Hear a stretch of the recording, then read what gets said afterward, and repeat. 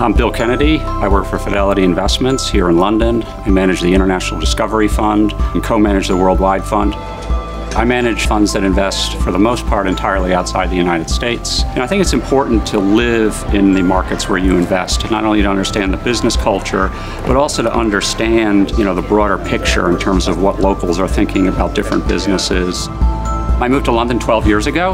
London is just geographically center of what I do. Not only are there lots of companies in Europe that I look at, but I wake up in the morning and Asia is still open, and then Europe opens, uh, the US, Latin America open in the afternoon. One of the uh, biggest benefits of being at Fidelity is, is that we have people all over the world. Traveling is a big part of my investment process. We do a lot of company visits. You know, it's one thing to sit with a management team in an office and they can lay out for you the business plan but it's more important to understand are they capable of executing and are they executing that plan well and effectively. So we spend a lot of time talking to divisional managers, talking to folks that work on the factory floor. Can they take the plan that they lay out for us when they're meeting us in our offices and are they actually implementing it and implementing it well? I teach an emerging markets class at night for my alma mater.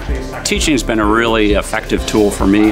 A lot of things in the world of investing you take for granted as just that's how it happens. Students are always asking why, why, why, and as I explain to them why something happens, it actually helps me understand better and it makes me a better investor.